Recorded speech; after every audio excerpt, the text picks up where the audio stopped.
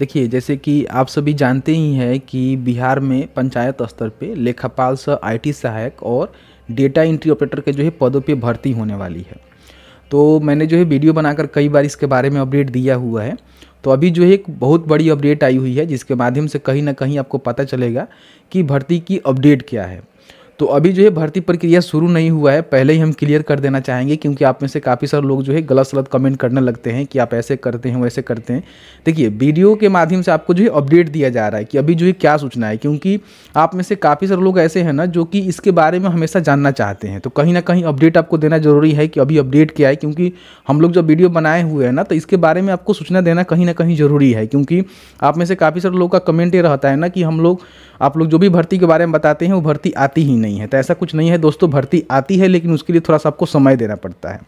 तो अभी जो अपडेट आया हुआ है, जिससे हम क्लियर करेंगे कि हाँ भर्ती का क्या कुछ अपडेट है, और इसमें क्वालिफिकेशन के रिगार्डिंग जानकारी आपको हम देंगे, साथ ही साथ सैलरी के रिगार्डिंग भी जानकारी देंगे कि आपको जो है कितनी सैलरी मिलेगी।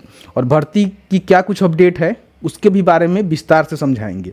तो प्लीज़ वीडियो शुरू से अंत तक लेकर ज़रूर देखिएगा। वीडियो थोड़ा सा भी अच्छा लगे तो प्लीज़ वीडियो को लाइक करिएगा। और वीडियो में आगे बढ़ने से पहले आप सभी के लिए एक बहुत ज़रूरी सूचना है, क्योंकि हमने जो है एक नया चैनल क्रिएट कर दिया हुआ है, जिसपे जो भी सरकारी योजना का वीडियो है ना ऑलमोस्ट वहीं पर जा रहा है। तो उसको अभी तक आपने सब्सक्राइब नहीं किए हैं तो नीचे लिंक पर क्लिक करके जाकर सब्सक्राइब कर लीजिए, क्योंकि ऑलमोस्ट जितने भी सरकारी योजना की जो भर्ती होगी ना, वहाँ पे आपको देखने को मिलेगी और जितने वैकेंसीज की वीडियो होगी, आपको यहाँ पे देखने को मिलेगी।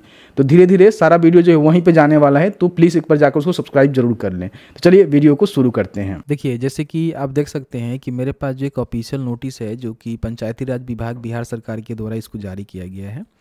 सबसे पहले इसमें देखेंगे ना तो पंचायती राज विभाग की विभिन्न जो योजना होता है ना, उसमें भर्ती को लेकर जो है जानकारी यहाँ पे दी गई है कि प्रति चार पंचायत पर एक ही दर से कुल दो हज़ार छियानवे जो लेखापाल सौ आई सहायक हैं, वो जो है पहले से स्वीकृत हैं, ठीक है?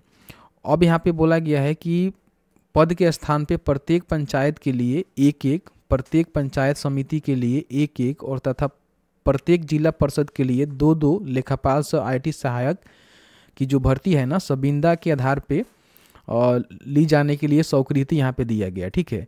तो इसमें बोला गया कि अब जो है लगभग पैंसठ सौ सत्तर जो लेखापाल सौ आई सहायक हैं, वो जो है भर्ती होंगे जिसकी स्वीकृति यहाँ पे दे दी गई। तो स्वीकृति कब मिला हुआ है? तो देख सकते हैं कि तीन पाँच दो हज़ार तेईस को यहाँ पे मिला हुआ है। अब इसमें थोड़ा सा आप नीचे आएँगे तो बहुत सारे ऐसे बातें हैं जो बताई गई हैं चाहे तो पढ़ सकते हैं, हम इसका लिंक नीचे उपलब्ध करवा देंगे जहाँ से आप इसको पढ़ सकते हैं, समझ सकते हैं, ठीक है?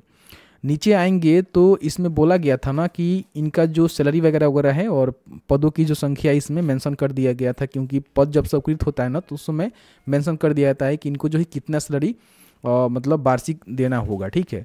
तो यहाँ पे देख सकते हैं कि इसमें पद का जो है मेंशन किया गया था कि लेखापाल सह आईटी सहायक, जो कि प्रत्येक ग्राम पंचायत का स्तर पे एक एक काम करेंगे, हर एक पंचायत में। तो पाँच हज़ार नौ सौ इकसठ पदों पर इनका भर्ती होगी। बीस हज़ार रुपया जो है इनको सैलरी मिलेगी, ठीक है? और बाकी इनका वार्षिक कितना खर्चा जाएगा सैलरी में, जानकारी यहाँ पे दी गई है। बाकी नीचे आएँगे तो प्रत्येक पंचायत समिति के लिए एक एक पदों पे भर्ती होगा, जो कि पाँच पाँच से तैंतीस पदों पे भर्ती होगा। इनको भी बीस हज़ार रुपये सैलरी मिलेगा। और प्रत्येक जिला परिषद के लिए भी दो दो पदों पे भर्ती होगा, जो कि छिहत्तर पदों पे भर्ती होगा। इनको भी बीस हज़ार रुपये ही सैलरी यहाँ पे देखने को मिलेगा। तो इस तरह से जो है इनका स्वीकृति दी गई। स्वीकृति मिलने के बाद क्या हुआ कि इसमें एक देख सकते हैं कि शब्द जोड़ा गया है ना कि सबींदा आधारी। तो सबींदा आधारी जो है गवर्नमेंट के द्वारा भर्ती नहीं निकाली जाती है। इसके लिए किसी न किसी आउटसोर्सिंग कंपनी का जो है सहायता लिया जाता है, जो कि थॉर पार्टी कंपनी होती है एजेंसी होती है, उसके माध्यम से ही भर्ती होता है। तो इसके लिए किया क्या गया कि सबसे पहले यहाँ पे देख सकते हैं कि बिहार ग्राम स्वराज योजना के द्वारा जो है टेंडर निकाला गया, ठीक है? टेंडर बहुत पहले निकाला गया था, जिसमें काफ़ी सारे कंपनियों ने भाग लिया, काफ़ी सारे जो आउटसोर्सिंग कंपनी है एजेंसी है अपना फॉर्म को फिल किया, लेकिन बहुत सारे ऐसे कंपनी है जो कि फॉर्म फिल नहीं कर पाई। तो फिर से क्या किया गया है कि इनको जो है स्टैंड कर दिया गया कि अब जो है 16 जनवरी 2024 तक आप फॉर्म को फिल कर सकते हैं। कोई ऐसा एजेंसी है कंपनी है जो कि भर्ती करवाती है। जैसे कि आप सभी जान ही रहे हैं कि बिहार में कई सारे कंपनी है, जैसे कुर्मिला इंफोटेक हो गया, ठीक है।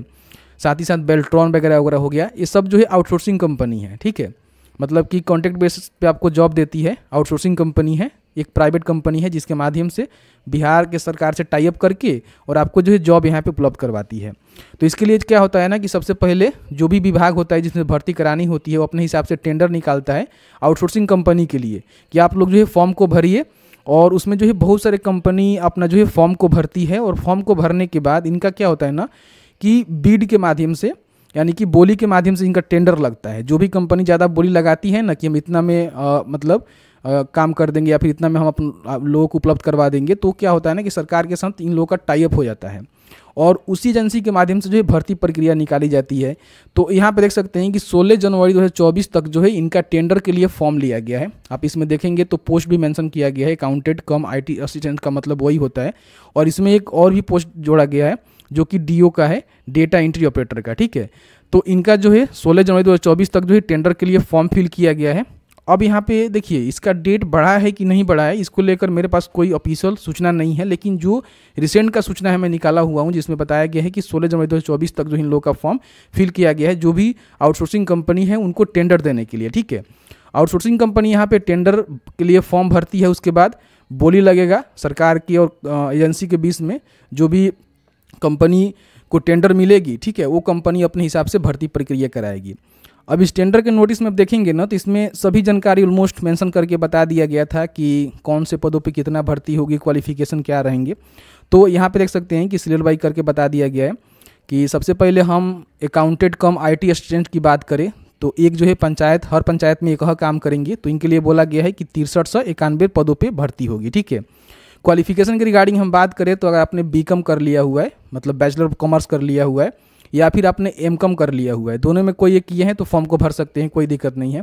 या फिर आप सीए इंटर किए हुए हैं तो भी आप फॉर्म को भर सकते हैं। मतलब कि तीन क्वालिफिकेशन दिया गया है, तीनों क्वालिफिकेशन में कोई एक क्वालिफिकेशन आप फुलफिल करेंगे ना तो फॉर्म को भर सकते हैं। और ये भी बात बोला गया है कि जो लोग सीए इंटर किए हुए हैं ना, उनको प्रीफरेंस मिलेगा, यानी कि उनका जॉब पहले होगा, प्राथमिकता उनको दी जाएगी। तो ये बात बोला गया है तो आप फॉर्म को भर सकते हैं। और सैलरी मैंने आपको पता ही दिया कि बीस हज़ार रुपये सैलरी यहाँ पे, जब इसका स्वीकृति दिया गया था तो उस समय बोला गया था कि बीस हज़ार रुपये इनको सैलरी दी जाएगी। बाकी देखेंगे, जो ब्लॉक स्तर पे काम करेंगे, डिस्ट्रिक्ट स्तर पे काम करेंगे, सभी का जो है क्वालिफिकेशन ऑलमोस्ट वही रहेगा, लेकिन पद यहाँ पे, इनका पाँच से तैंतीस रहेगा, ब्लॉक स्तर वाले का, और जो लोग डिस्ट्रिक्ट लेवल पर काम करेंगे, उनका छिहत्तर पोस्ट रहेगा। इसमें देखेंगे ना तो सहायक डेटा इंटरप्टर का भी पोस्ट रखा गया है, जिसके लिए बोला गया है कि तीन सौ उनतीस पदों पर भर्ती होगा। तो इसमें बोला गया है कि टेन प्लस टू यानी कि आपने इंटरमीडिएट पास कर लिया हुआ है। साथ ही साथ आपके पास डी सी का सर्टिफिकेट है और आपका जो टाइपिंग स्पीड है, पच्चीस वर्ड हिंदी और तीस वर्ड इंग्लिश में आपका टाइपिंग स्पीड है तो आप फॉर्म को भर सकते हैं, ठीक है? जो कि टेंडर वाला नोटिस में ये जानकारी दिया गया है। तो इसी के बिहाब पे जो भी कंपनी अपना टेंडर लेगी, ठीक है, उस कंपनी के द्वारा जो है भर्ती निकाली जाएगी और यही क्वालिफिकेशन और यही जो है सैलरी यहाँ पे दी जाएगी क्योंकि इसका जो है स्वीकृति दे दिया गया है कि इतना ही इनको सैलरी मिलेगी। तो अब यहाँ पे जब कंपनी अपना टेंडर ले लेती है, हो सकता है कि बेल्ट्रॉन को मिल जाए हो सकता है कि बहुत सारे बिहार में अलग अलग प्रकार की आउटसोर्सिंग कंपनी है। किसी को भी मिल जाता है ना तो वो अपने हिसाब से भर्ती निकालेगा। भर्ती निकालेगा ना तो यहाँ पे इसका सूचना ज़रूर जारी किया जाएगा, ठीक है? हमने पंचायती राज डिपार्टमेंट का जो ऑफिशियल पोर्टल है, यहाँ पे देखने को मिल जाएगा। इसको आप ओपन करेंगे, ठीक है? तो लेटेस्ट न्यूज़ में ही आपको भर्ती की जानकारी मिल जाएगी। या फिर यहाँ पे देख सकते हैं कि जो भी सर्कुलर होता है, इसमें आ सकता है नोटिस बोर्ड में आ सकता है, ठीक है? तो यहाँ से जो है जानकारी आपको देखने को मिल जाएगा। तो अभी अपडेट यही है ना कि अभी जो है टेंडर का फॉर्म रिसेंटली यहाँ पे क्लोज किया गया। हो सकता है कि डेट बढ़ा होगा, जो कि अभी नोटिस आया नहीं है। जहाँ से हम नोटिस डाउनलोड करते हैं, वहाँ पर नोटिस नहीं आया हुआ है। तो हो सकता है कि क्लोज भी हो गया होगा। तो अब जो है एजेंसी का बोली लग जाएगा। एजेंसी अपना जो है जीमा ले लेगी, उसके बाद फॉर्म को अपने स्तर से निकालेगी। अगर इस नोटिस को डाउनलोड करना चाहते हैं तो दोनों को हमने अपने ई जी डॉट कॉम का जो वेबसाइट है ना, यहाँ पर उपलब्ध करवा दिया है। यहाँ पर आने के बाद आप देखेंगे आपको बिहार लेखापाल, आईटी सहायक एक वैकेंसी का लिस्ट लिंक मिलेगा जिस पर क्लिक करेंगे। तो इसमें हमें ऑलमोस्ट जानकारी दिया हुआ है, चाहे तो पढ़ सकते हैं और बाकी नीचे आएँगे। तो यहाँ पे पेपर के माध्यम से जानकारी दी गई जैसे कि आप सभी जान ही रहे हैं। तो यहाँ पे देख सकते हैं कि ऑफिशियल नोटिस के सामने आपको वो वाला मिल जाएगा और टेंडर का नोटिस आपको यहाँ से मिल जाएगा, जिसको आप डाउनलोड करके खुद मैनुअली अपने से पढ़ सकते हैं, समझ सकते हैं। तो जैसे कि आपने देखा कि जो भी कुछ अपडेट है, मैंने आपको क्लियर करके बता दिया हुआ है और जो भी नोटिस है, उसके हिसाब से समझाने की कोशिश किया हुआ है। तो वेट करिए, जैसे ही भर्ती आएगा आउटसोर्सिंग कंपनी का हायरिंग हो जाएगा और जो भी आउटसोर्सिंग कंपनी जीमा ले लेगी, उसके माध्यम से भर्ती निकल के आएगी तो आपको हम बता देंगे किस तरह से भर्ती होगी। तो फ़िलहाल यही अपडेट है, भर्ती अभी शुरू नहीं की गई, इन बातों को ध्यान रखेंगे, भर्ती अब कमिंग में है। तो हो सकता है कि बहुत ही जल्द एजेंसी का चयन हो जाएगा और एजेंसी के माध्यम से भर्ती निकाल दी जाएगी तो हम आपको अपडेट दे देंगे। तो बस आज की इस वीडियो में इतना ही। वीडियो थोड़ा सा भी अच्छा लगा है तो वीडियो को ज़रूर लाइक करें और आपके मन में किसी प्रकार की कोई भी सवाल होगा इस वीडियो से रिलेटेड तो आप हमें कमेंट सेक्शन में कमेंट करके पूछ सकते हैं।